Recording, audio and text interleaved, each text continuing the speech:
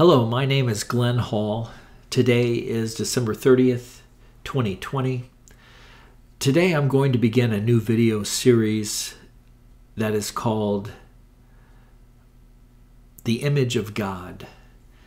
And this is really going to be a series that is, you might consider as part two of the mystery of the beast.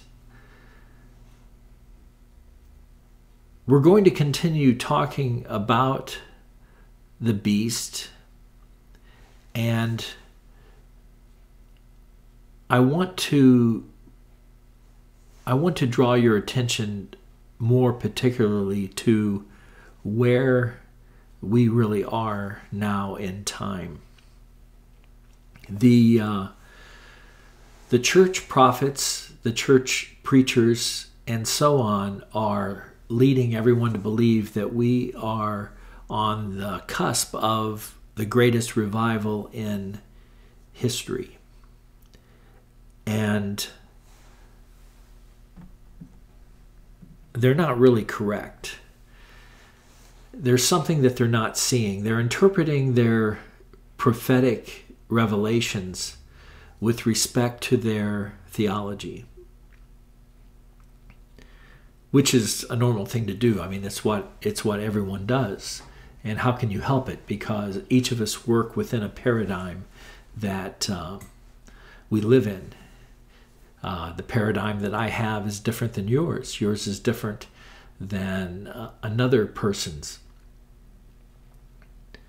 But each of us really is responsible for the paradigm that we live within, that we work within we have responsibility with respect to knowing the truth, with respect to understanding what is true and what is a lie.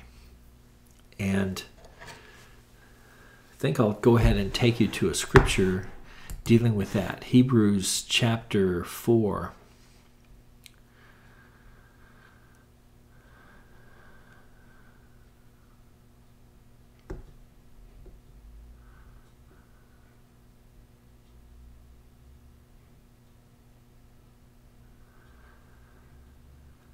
Verse 11 Let us therefore strive to enter that rest, the rest of God, so that no one may fall by the same sort of disobedience. For the word of God is living and active, sharper than any two edged sword, piercing to the division of soul and of spirit, of joints and of marrow, and discerning the thoughts and intentions of the heart. And no creature is hidden from his sight, but all are naked and exposed to the eyes of him to whom we must give account. Well, who is that? Well, that's God, of course. And what about the Word of God? Well, that's Jesus. Jesus is the Word that was made flesh. And the Word of God is living and active, sharper than any two edged sword, piercing to the division of soul and spirit, of joints and marrow. And discerning the thoughts and intentions of the heart. First, let me just quickly say there is uh, great confusion in the church, almost no understanding at all concerning the difference of the soul and the spirit. People talk about the salvation of the soul, but what they are almost always talking about is the salvation of the spirit. And that's why you almost only hear milk in the church. Milk, the milk of the Word of God, is that Jesus Christ died for your sins. And therefore, you have a relationship with God. But that's where everything begins for us, but that's where it begins and ends for almost the entire church. It's it's the whole doctrine of soul and spirit that creates the once saved always saved, not once saved always saved controversy. Just quickly, the reality is that we are all once saved, always saved. And that's because Jesus Christ died for all. As in Adam, all die. So in Christ, all shall be made alive. 1 Corinthians chapter 15. All died in Adam, all shall be made alive in Christ. Jesus died for us all. When he died, he descended to Hades. He preached to the spirits who were in prison and led them out of prison. Once, once they were preached to by him, they believed. Of course, who wouldn't believe if they if they see Jesus face to face in the spirit? And so then he led them out of the captivity of death, out of Satan's dominion.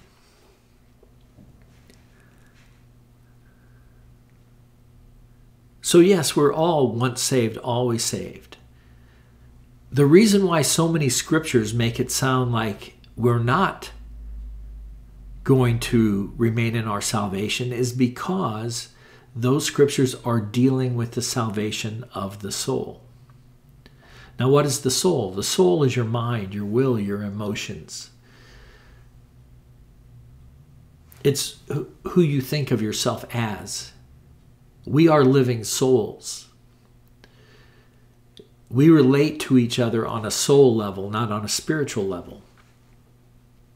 Because we are not totally in the Spirit yet, even though we have received the earnest of the Holy Spirit, those of us who have believed, we still operate in the realm of the flesh and we relate to each other soul to soul.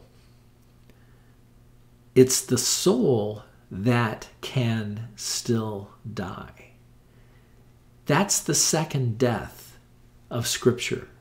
Most people don't understand that either, that they don't understand that there are three separate deaths spiritual death, soul death, and physical death.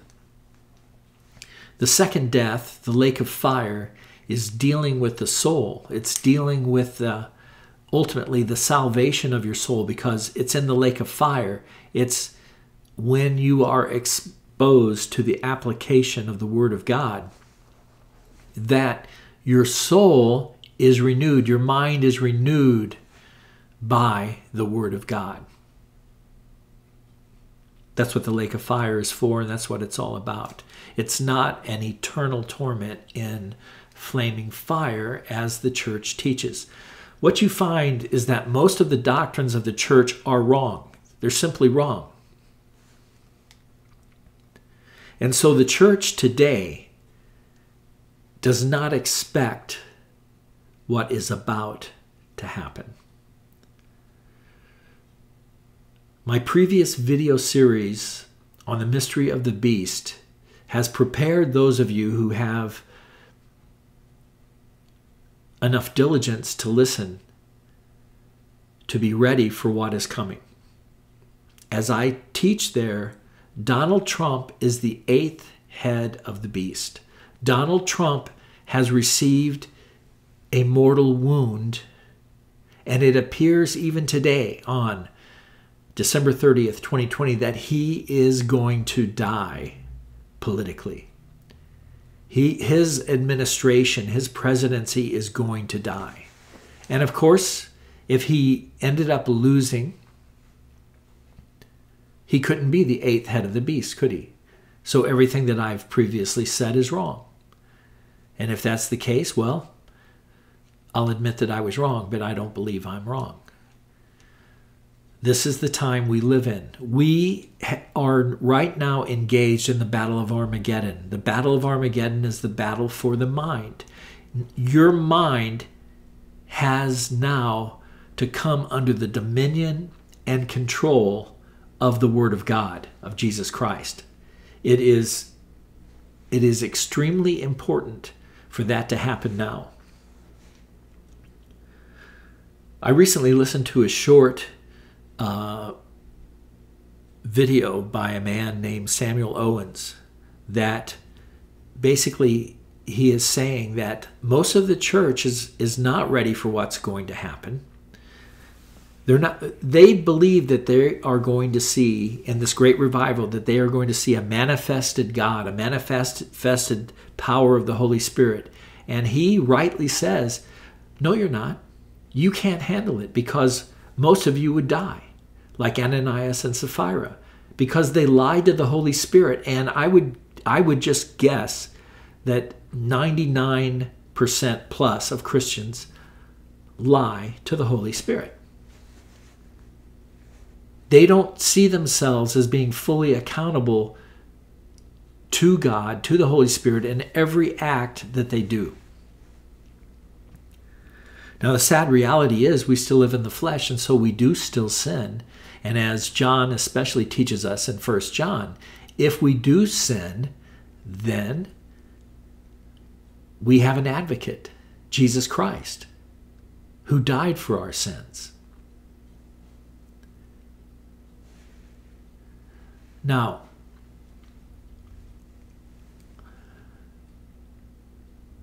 being the eighth head of the beast, Donald Trump is going to fulfill the scriptures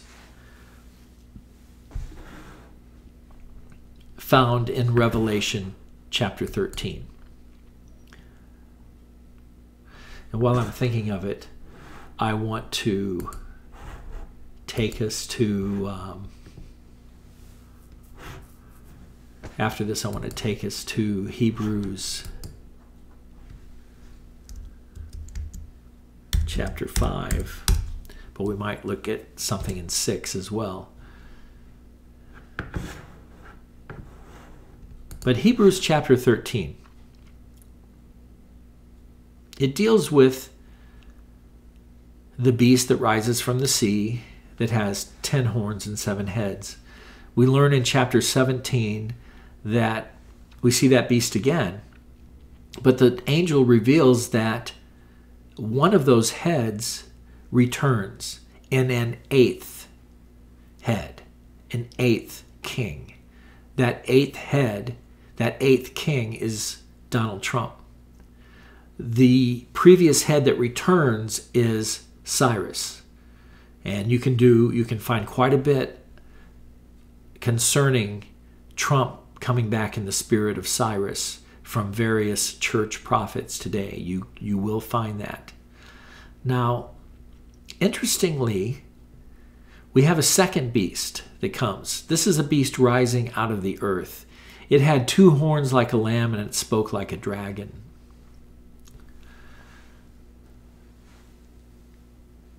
Well, what does that sound like?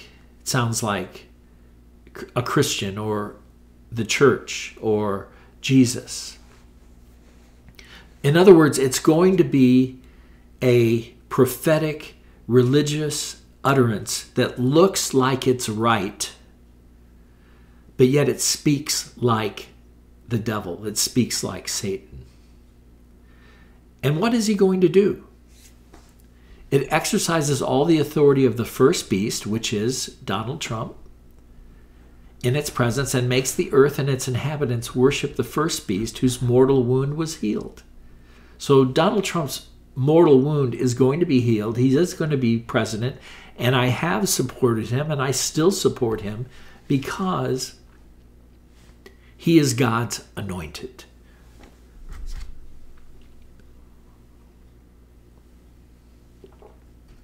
Just as Nebuchadnezzar and Cyrus were God's anointed kings, who were also heads of the beast that has ruled the earth for millennia. So Donald Trump is God's anointed. Daniel was very faithful to Nebuchadnezzar and to Cyrus.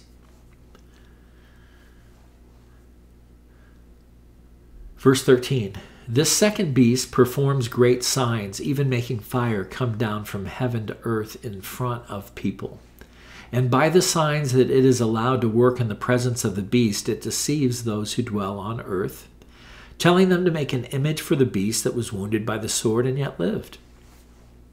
And it was allowed to give breath to the image of the beast, so that the image of the beast might even speak and might cause those who would not worship the image of the beast to be slain. the image of the beast. The image of the beast. Remember, back in the book of Daniel, Daniel chapter 3, King Nebuchadnezzar made an image of gold whose height was 60 cubits and its breadth 6 cubits, and he set it on the plain of Dura in the province of Babylon. Who do you think that image was of? Of course, it was an image of Nebuchadnezzar. And it was patterned after the dream he had where he was the head of gold. That's chapter 2. Nebuchadnezzar's dream. So Daniel interprets the dream, and in the dream, several succeeding heads of Babylon, of Mystery Babylon, are revealed, beginning with Nebuchadnezzar, who was the third head of the beast. So, we have Nebuchadnezzar who makes an image of gold to himself, and then prophetically fulfilling that, we are going to see Donald Trump have an image erected to him.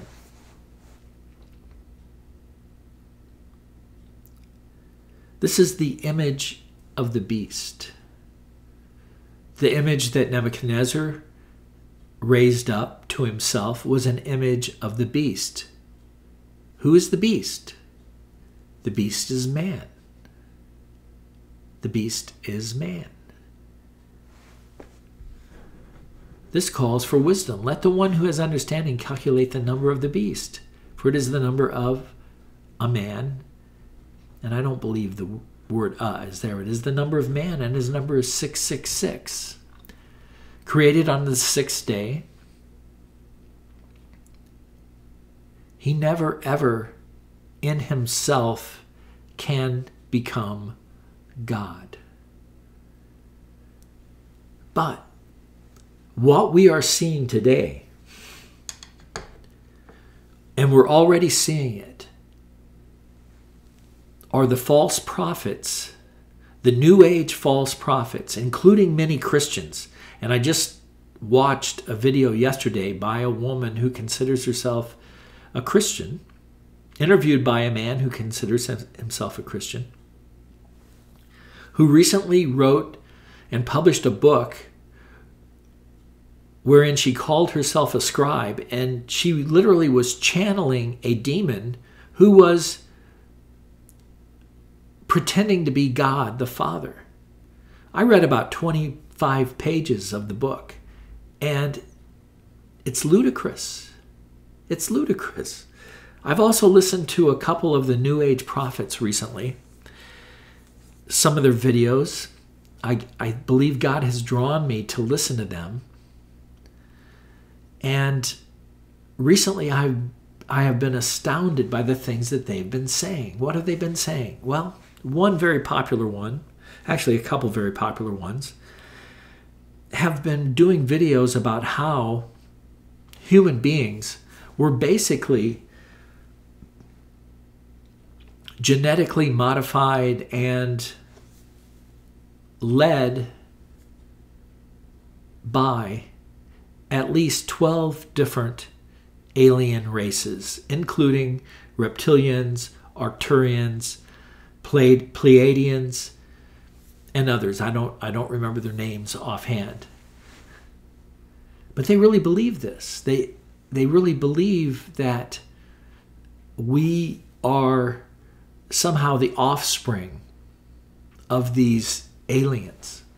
That these aliens have had had to do with our evolution, our be, being in our in our current um, human frame. Well, it's nonsense. It's errant nonsense. Aliens are always manifestations of demons.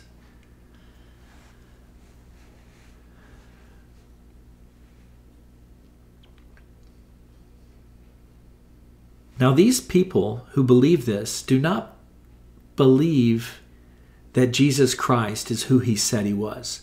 They're talking about things like a, a Christed consciousness now. They use that term. They're, they're using the term Christ to describe what the place where they believe they are in. They believe that they are awakened because they see the um, they see the control grid that mankind has been under for some time now. and they believe that they've awakened to that, that somehow they're going to be better than the evil that has controlled the world for millennia.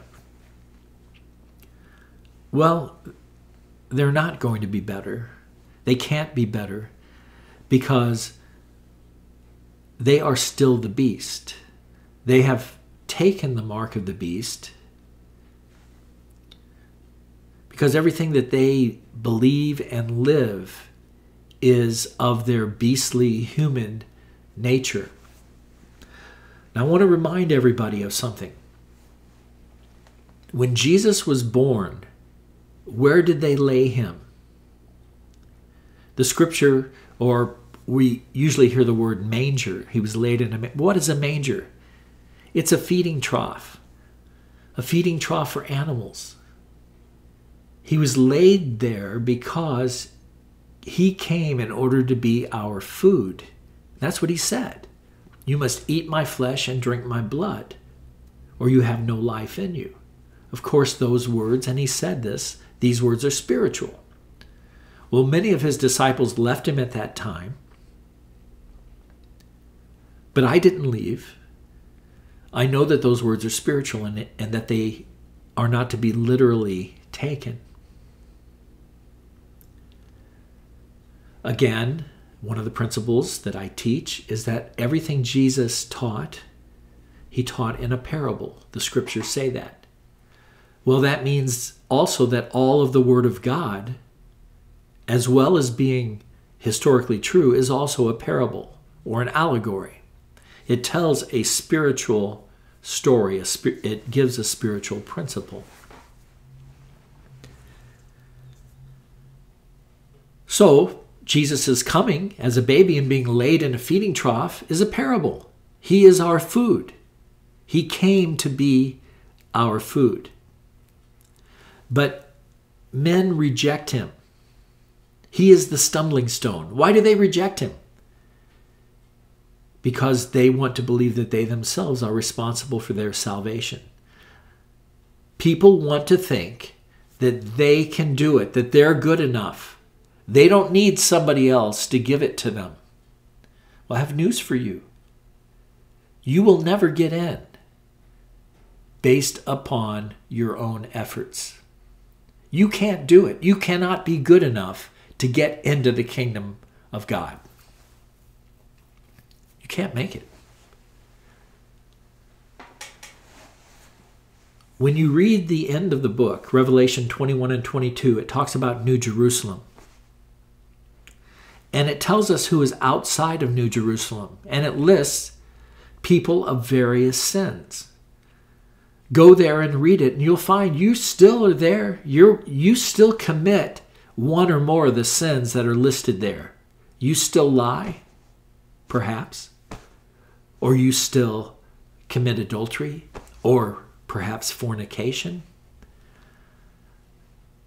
Maybe you're a homosexual. Well, you're committing fornication. And homosexuality itself is specifically condemned in the scripture. But people now want to justify their actions. And many people have become Christians and they've stayed within their sinful behavior, whether it's living with someone outside of marriage, whether it's a homosexual relationship, or whether it's working for the government doing evil deeds, or working for a corporation doing evil deeds. People, by doing that, you take the mark of the beast. You have to make up your mind that you are going to serve God. Now, how was it that I was able to discern that these people that I watched yesterday and some days previous were false? Well, let's go to uh, Hebrews chapter 5. Now, he's talking about Jesus being of the order of Melchizedek and being our high priest, and he says, About this we have much to say, and it is hard to explain since you have become dull of hearing. Well, isn't that the truth? The entire church is dull of hearing. For though by this time you ought to be teachers, you need someone to teach you again the basic principles of the oracles of God, the basic principles of Scripture. You need milk not solid food. For everyone who lives on milk is unskilled in the word of righteousness, in the teaching about righteousness since he is a child. But solid food is for the mature, for those who have their powers of discernment trained by constant practice to distinguish good from evil. Notice food, solid food, Food is the Word of God. He's not talking about eating something tangible, an apple, or cheese, or bread. Milk, he's not talking about sucking on lamb's milk or cow's milk. Solid food is the Word of God, it's for the mature for those who have their powers of discernment trained by constant practice to distinguish good from evil. How often do you read the Bible for yourself? Do you just go to church once a week and depend upon the preacher to give you a word? Well, you might get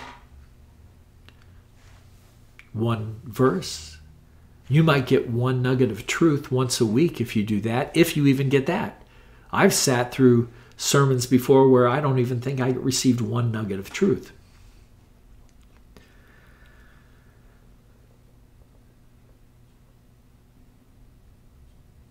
Now, I want to say this before I go on from here.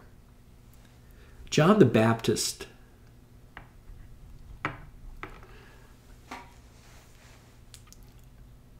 was born in a priestly family. His father was a priest.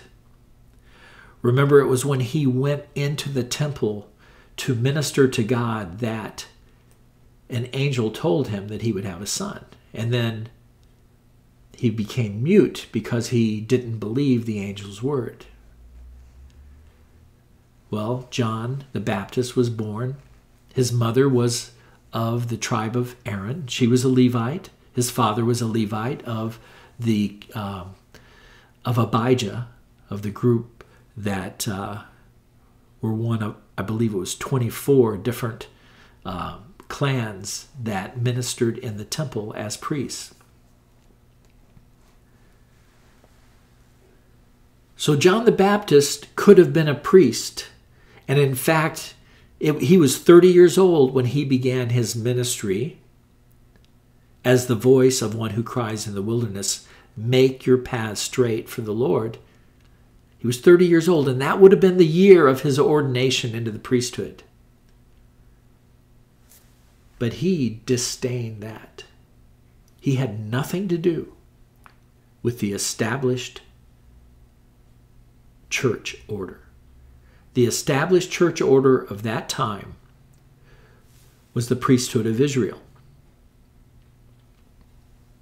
After the death of Christ, that was changed to the Christian church. And for the last 2,000 years, we have had an established church order of Christian pastors, prophets, apostles, teachers, evangelists. Now, that age is now over. The church age is now over.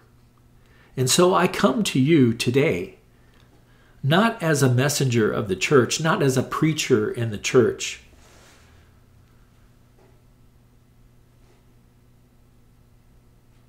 But as someone who stands outside of the church. because we are now on the cusp of something that the church doesn't see. Now, many of the church leaders, pastors, and prophets have had dreams and visions wherein they see things that clearly show that the time of this nation, the Republic of the United States of America, is over. That Jesus himself is turning out the lights on that system.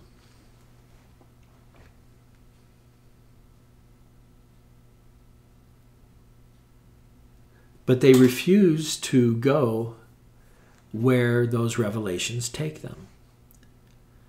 See, what we're seeing is the, the shaking of everything that can be shaken and the destruction of the things of men. And we're going to see the rising of the kingdom of God. So we now are at the time where we are going to see the kingdom of God rise up. And we need to know that because we are about to see some, in the flesh, terribly scary things. Because when Donald Trump begins his second term, and then he receives all the accolades of the people, who can fight against the beast? Who can wage war against Donald Trump, the man who received the mortal wound but yet survived? And he becomes puffed up in his pride, like Nebuchadnezzar did, like every man does, because it, he's a man of flesh. You're, you're of the flesh. I'm of the flesh. As long as I'm in the flesh, I will fail. But we're coming now to the time when God is going to manifest in beings who are no longer of the flesh. That's what the image of God is all about. So, this is the introduction to the image of God understanding what the image of God is. Because just as man always raises an image to himself in self applause and self worship, God is going to raise up those who are made, fully made, in His image. And in the next video, what we're going to do is look into scriptures that deal with being made into the image of God.